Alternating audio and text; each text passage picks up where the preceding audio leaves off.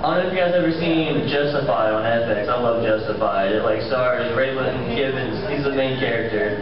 Definition badass. Gets all the ass, kicks all the ass, stares down a barrel of guns. I don't give a you know what badass. And like I'm just gonna give you in a nutshell every episode of Justice Justified. I don't want to spoil alert anybody if you haven't saw seen it, but still watch it. But in a nutshell, every episode of Justified.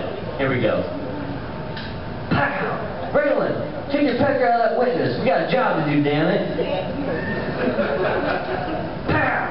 Raylan, take your pecker out of that ex-wife. We got a job to do, damn it. Pow! Raylan, take your pecker out of that ham. We got a job to do, damn it.